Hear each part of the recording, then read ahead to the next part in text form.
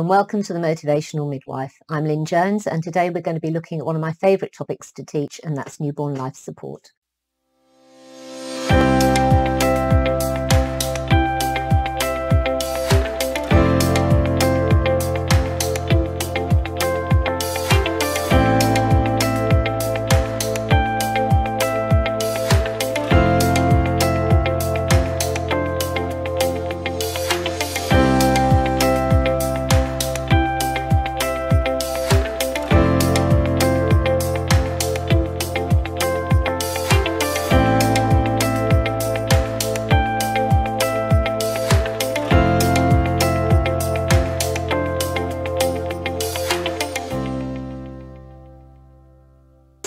Newborn life support. What is it? Is it resuscitation? Well, it's not resuscitation as we often think of resuscitation as, uh, as we would in an adult situation. It's really just a baby that's failed to make that transition from in utero to extrauterine life and needs a, a little bit of support. Now, you can be fairly reassured that the vast majority of babies are not going to require anything more than what we would call primary resuscitation. So that's a swift dry with a, brush, uh, with a brush, with a towel and um, airway opened and a hat on. Most babies will cry within uh, a minute and a half of birth. Um, but it is important that you have got an individualised assessment really considered for the babies that or the woman you're looking after so that if there are any risk factors that you have the appropriate things in place um, to support you supporting that baby making the transition. And we'll go into some of those risk factors as we go through this. So why are babies at risk in the first place? Well their relative um, their surface area is really relatively large compared to their size. They're quite small. And the baby's um, head is a third the surface area um, of the baby. So actually this head loses a phenomenal amount of heat. So it's important that we dry the baby. Babies are born wet and this predisposes them to losing heat very rapidly. And babies lose heat by convection, conduction, radiation and evaporation. And if we left this baby naked and wet, its temperature is going to drop very rapidly, as you can see, down to 33 degrees in just five minutes. And for every degree below 36.5, which is kind of your baseline normal, um, it increases the risk of mortality for that baby quite significantly. We can keep the baby uh, warm most effectively by skin to skin with mother.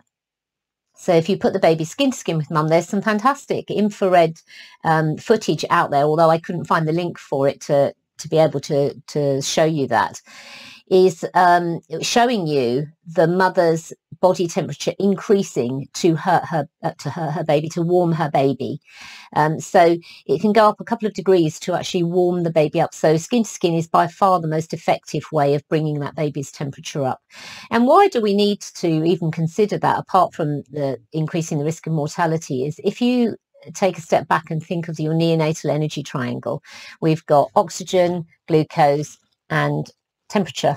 And if we affect any one of those, then the other two will also be affected. So a cold baby is actually harder to resuscitate because if the baby is cold, it's going to need increased oxygen and glucose supplies to, to just form normal metabolism. And the other issue that babies have is they have lungs that are filled with fluid. When they're in utero, the lungs do not need to perform gaseous exchange because this is all done at the placenta. So fetal lung fluid actually really is there to help the development and growth of the lungs. And babies in utero often uh, develop um, fetal breathing movements, which also help get the, rung, the lungs ready for when they have to actually perform as lungs and do gaseous exchange. And this fetal lung fluid is is essentially um, made by the, the lung epithelium. So at point of birth, the, the baby has sort of 10 to 25 mils per kilo that will either need to be reabsorbed or expelled in order for the lungs to function properly. And this happens in a couple of ways. Uh, partly when labour occurs, there is a shift of hormones from those that encourage production of fetal lung fluid to those that will encourage reabsorption of fetal lung fluid. So if you think about women who have a elective cesarean section, they've not gone into labour, so they haven't had this shift of hormones. Um, so these babies are more likely to have something called transient tachypnea of the newborn. So they, they're more likely to have be these babies that grunt a little bit at delivery. They do this sort of uh, uh, noise. So they've still got a little bit of fluid in there. And they also haven't been squeezed through um, the vagina. So they haven't had that mechanical squeezing to help um, get rid of some of that fluid as well. So some of those risk factors as well that we're talking about, I've, I've, just mentioned caesarean section, which isn't on this list, but I say there are many, many more. Uh, these are just some of the risk factors. And the most obvious one would be a preterm baby. A preterm baby, its lungs are not going to be as well developed as a term baby. But the other key thing for a preterm baby is its lack of surfactant in the lungs. And surfactant, as you might remember, is, is a bit like a soapy substance that helps keep the alveoli um, partly open. So when the baby takes a breath for the first time, uh, the alveoli open up and they never really collapse completely back down on themselves because of surfactant. It keeps that tension in the alveoli there. It's a little bit like blowing up a balloon. If you blow up a balloon for the first time, it's really hard work the first time. Well, it is for me. And then if you let that balloon down and you blow it up again, it's much easier to blow it up the second time. And that is very similar to the lung alveoli. Um, the surfactant helps that. So your preterm baby, surfactant doesn't really start being produced till about 26 weeks and it really surges from about 30 weeks onwards. So the more preterm the baby is, the less surfactant those babies have um, which is why we give um, steroids such as dexamethasone because it stimulates that surfactant production. Hypoxic events uh, such as your antepartum hemorrhage, your cord prolapse, um, shoulder dystocia, um, labour itself, to some extent, is a hypoxic event, but your well-grown term baby is is really well designed to cope with um, those short periods of hypoxia that that contractions uh, bring. Um, but babies who are compromised in any way are not going to cope as well with uh, with labour. Drugs, particularly opioids, as opioids are respiratory depressants. So drugs such as pethidine, um, diamorphine, uh, they are going to cross the placenta and they will um, have an effect on that res- respiratory centres in the baby. Maternal infection, uh, any sort of maternal infection, but particularly things like group B strep, um, uh, potentially they're going to put the babies at risk as well. And therefore, you know, if you've already got a baby that's infected, that is going to uh, potentially require some assistance to make that transition. Maternal diabetes, uh, babies of diabetic mothers, um, diabetes interferes with surfactant production for diabetic mothers. Often you also have a, a macrosomic baby um, that may be sort of large in size, but in terms of gestation, not quite so far along the road as you as you think. Obviously, any pathological or suspicious CTG uh, concerns, because that is telling you that this baby is already um, beginning to become compromised. So if you've got a compromised baby in labour, then there is a good chance it's going to need some assistance to make that transition. Prolonged or precipitate labours. So the prolonged labour, obviously the baby is going to use its stores up and may become um, compromised. Precipitate labour, um, if you have a very quick labour, then obviously you have less chance for that fetal lung fluid to be reabsorbed and it all happens very quickly. So you might have a little bit of fluid still left in in the lungs there. It's a little bit of a shock for the baby, so it just may need a little bit of help getting going. Any sort of birth trauma, instrumental deliveries, operative birth. So you have to think to yourself, why has this baby required um, in, intervention? Was it because it was already um, becoming compromised. Breech, you've got cord um, compression within breech.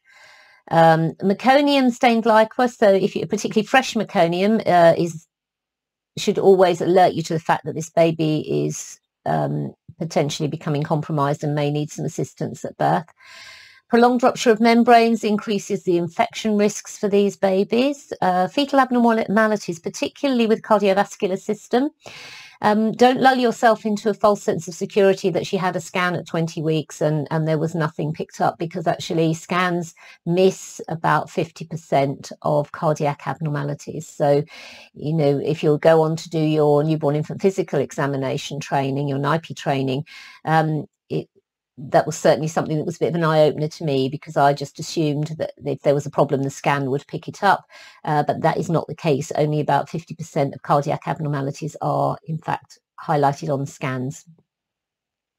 And if you've got a growth restricted baby, well, this baby's already got a lower threshold um, for coping. It's got very um, lower reserves to actually get through labour.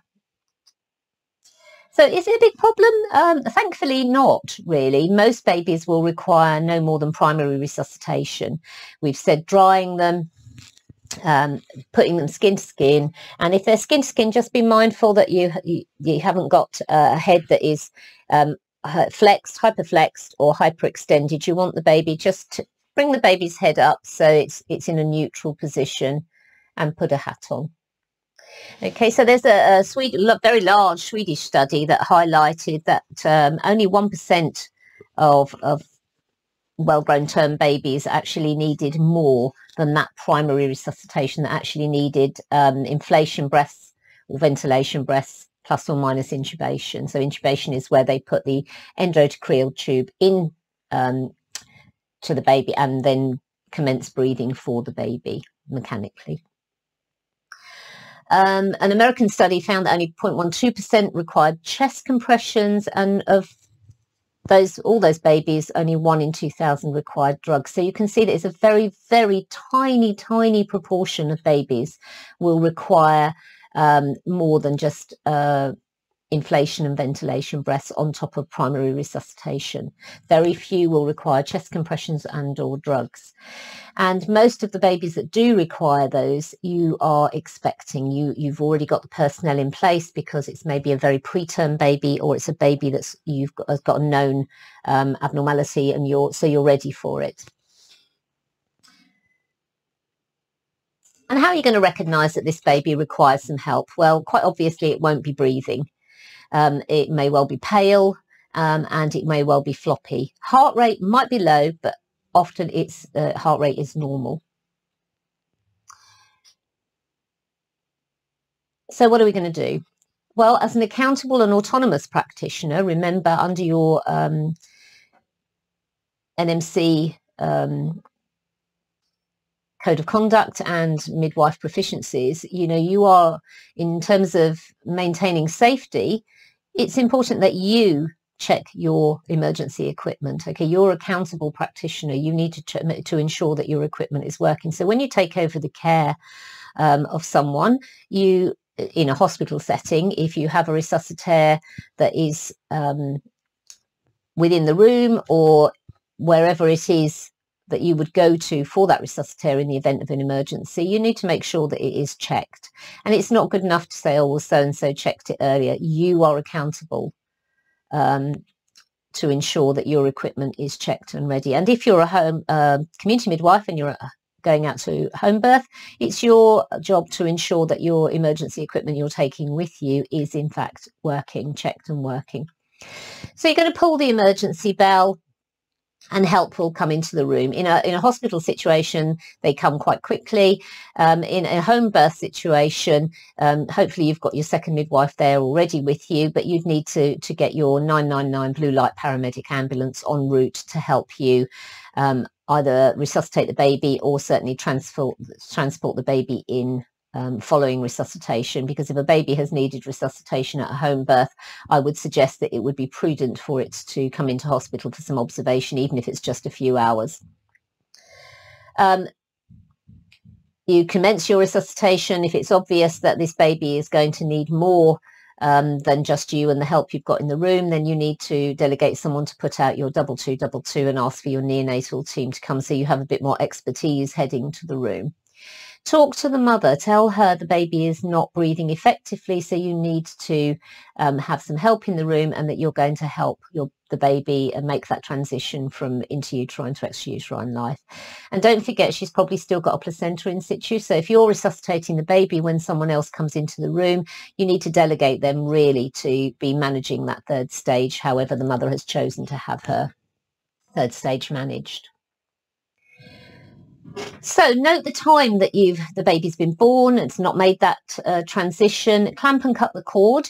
Um, the Resus Council do suggest, uh, whilst they um, support delayed cord clamping, they say that you shouldn't delay resuscitation in order to facilitate delayed cord clamping. Now, there are some units that have these really great resuscitation tables that you can bring next to the bed so you can resuscitate with the cord still intact. Um, but um, I've not seen any of those actually in use. Uh, certainly where I've worked over the years. Um, and also clamping and cutting the cord is one of the potential stimuluses for um, encouraging the baby to start breathing anyway.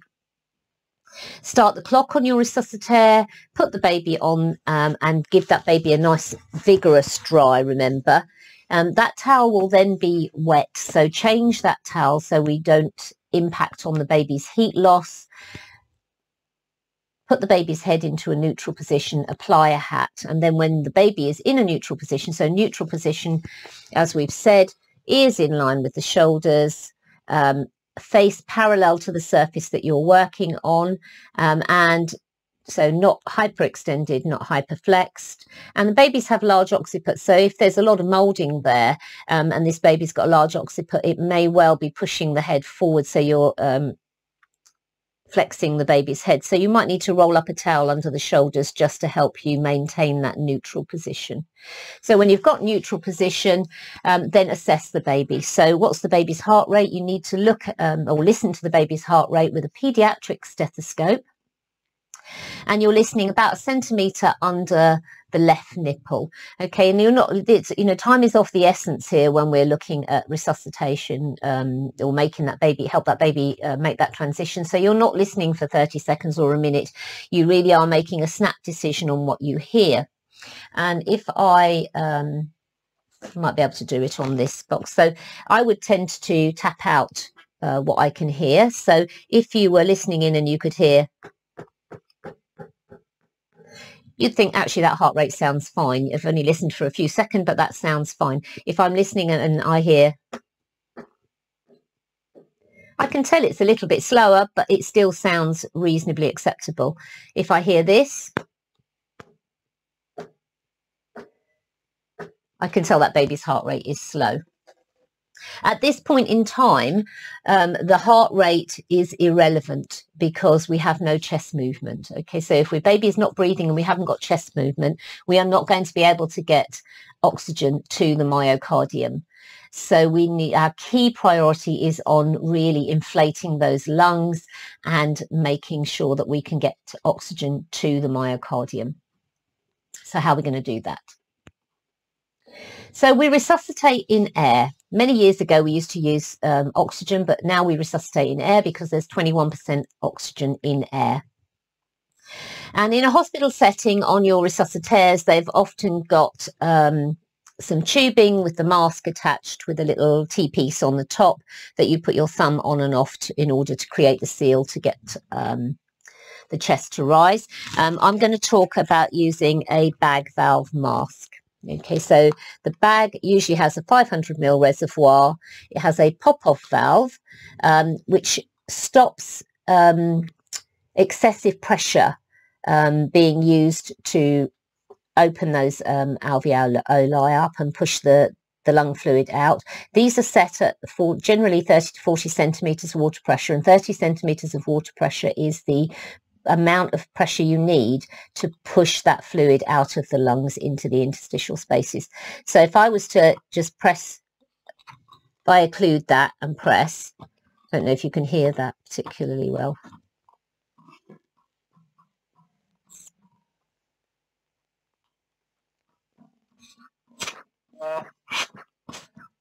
You get a pop-off sound, um, and that's the extra pressure being um, popped off being blown out elsewhere so it's not going to the baby's lungs. Because if you put excessive pressure down the baby's lungs what you will do is cause a pneumothorax. Um, and in order to deliver that you need to have a mask. And the mask size is important. If you have a mask that is too small um, you're not going to to get a good seal. And if you have a mask that's too large, then you are going to cause pressure on the eyes, which will cause a vagal response, um, which will cause a bradycardia in a baby that is already compromised. So you measure the mask from the cleft of the chin to the bridge of the nose. And when you've got that mask on, then you are going to roll the mask on from the cleft of the chin to the bridge of the nose when it's attached to the bag. And then you are going to use a C and E grip. So the C grip is um, on the stem. Um, so that you're, it's a bit like holding a, a wine glass. And then the E grip, because your fingers are a bit like an E, essentially are on the bony jaw here. And then you will deliver five slow inflation breaths. And what inflation breaths do is they inflate the lungs, they push the lung fluid out. So they need to be slow inflation breaths. So I tend to, to do one inflation breath release, two inflation breath release. And that um, they're two to three seconds long. You do five of those and then you reassess the baby. And it's quite likely that you won't get chest movement on the first two or three as it's pushing that fluid out of the lungs. It may be the third or the fourth or even the fifth one that you get chest rise on. So then reassess the baby. What's the heart rate, colour, tone? Is the baby breathing? Have you seen the chest rise? If you haven't seen the chest rise, then you move on to the next strategy to aerate the lungs.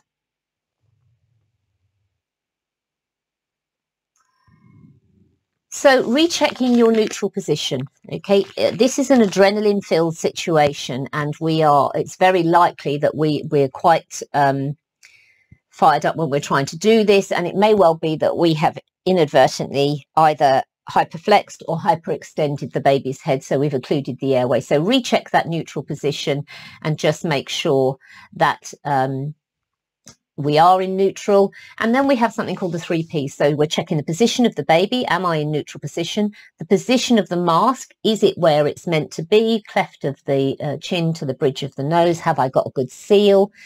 Have I got enough pressure on the mask in order to be able to have a good seal? And then um, I'm pulling the baby's jaw into the mask. Uh, sometimes this was referred to as a single person jaw thrust or a single-handed jaw thrust. And you can see on this, this picture um, that the um, C grip on the stem of the bag and valve and then ring and middle finger or ring min, min, finger or middle finger is pulling the angle of the jaw. So that's this bit here up into the mask. Repeat your five inflation breaths and then reassess the baby. Heart rate, colour, tone, is the baby breathing and most importantly, have I got chest movement? If I've got no chest movement, I need to go on to my next strategy. So this would be a two-person jaw thrust. So one person is doing the jaw thrust and the other person will be doing the five inflation breaths. Okay, so this is not something you can do on your own. You cannot do a two-person jaw thrust on your own. And what a jaw thrust does is you are aiming to lift the angle of the jaw towards the ceiling, towards the um, in order to lift the tongue off the airway. So you'd place your fingers on the cheekbones and your ring or middle finger on the angle of the jaw and you will lift. So reassess the baby. If I've still seen no chest movement, what's my next strategy?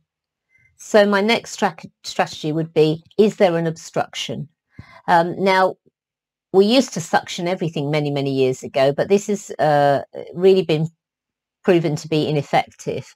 Um, and we should only be really um, suctioning large particulate, which we'll go into in a second. So I'm checking for an obstruction. Do I need to put an oropharyngeal airway in? And if I do, it needs to be measured for the correct size. So in order to do that, I need some equipment.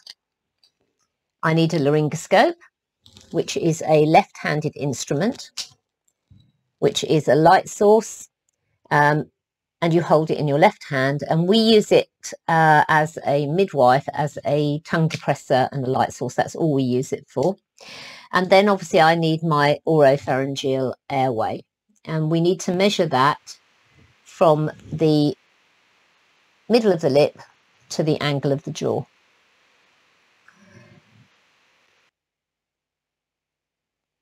In order to insert the laryngoscope, you need to protect the upper lip and gums. And I tend to do that by my, putting my little finger just in the corner of the mouth. And then I will use that as the angle I'm going to go in at. So I've got my laryngoscope facing away from me.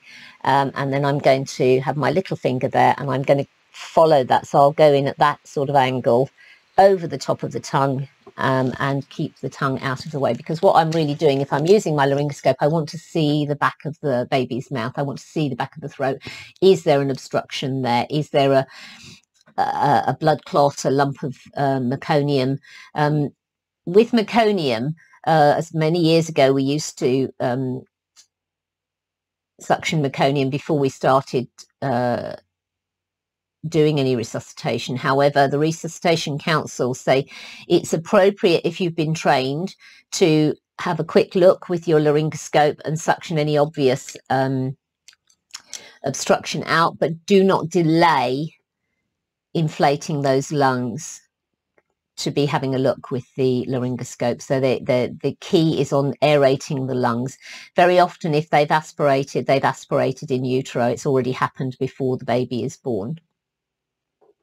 So once you've got your laryngoscope in and you've had a look and you've seen um, that there is no obstruction or there is an obstruction, then you're going to insert your oral pharyngeal airway. Now with an adult, um, your OPA goes in that way and then you turn it round. With a baby, you put it in following the line of the anatomy. So it will go in like that over the top of the tongue.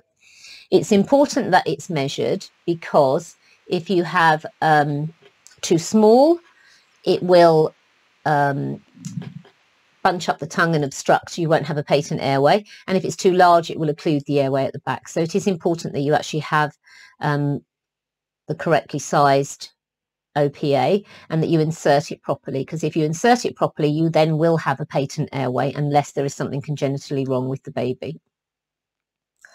If you do see an obstruction, you do need to uh, suction, then obviously it needs to be done under um, direct visualization. So your laryngoscope your light source needs to be in situ and you use a wide bore pediatric Yankauer sucker. So a, a nice wide bore suction so that it picks up that large particulate. We shouldn't be suctioning fluid per se because fluid per se is not going to cause an obstruction. You only suction what you can see. Don't go poking the, the suction catheter right down the back of the throat. Again, you will cause a vagal response, which will cause a, a bradycardia in this uh, already very compromised baby um, and suction only on the way out. So occlude your suction while it's going in and then suction as you're coming back out with your suction catheter. So as I say, we've inserted the um, airway in, in with the line of the anatomy repeat our five inflation breaths and you should see chest rise uh, once you've got an OPA in. And certainly many trusts certainly for their community midwives will often say go straight to uh, inserting an airway if they're having to resuscitate at home particularly if you're on your own because this is going to to fairly well ensure that you have got a patent airway. So your resuscitation will be um, your inflation breaths should then be effective So do your five inflation breaths and then reassess the baby. Uh, what's the baby's heart rate, colour, tone? Is the baby breathing? And you should have chest rise by this point. So we've now got chest rise, but the baby is still not breathing effectively. So what can we do? We need to do ventilation breaths and ventilation breaths aim to mimic normal neonatal breathing. So you're looking at 30 to 40 per minute and they're given, um, they're much quicker breaths, so they're shorter. So it's um, one in, one out, one in, one out. So they're given one breath over one to two seconds. So you're really getting about 15 breaths in a 30 second period and you would reassess the baby after 30 seconds. So you do ventilation breaths once you have chest movement, so you know you've aerated those lungs. The baby is not breathing effectively. And then the other reason we would do um, ventilation breaths is before cardiac compression. So we've got chest movement, baby's not breathing. Um, we do 30 seconds of ventilation breaths and then reassess. If the baby's heart rate is low at this point, then we commence cardiac compressions.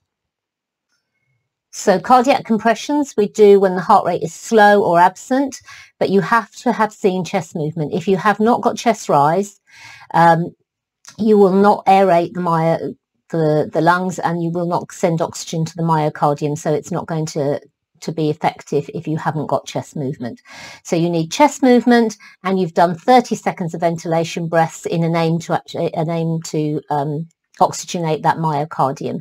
Reassess the baby. If the heart rate remains slow, then you carry on with cardiac compressions.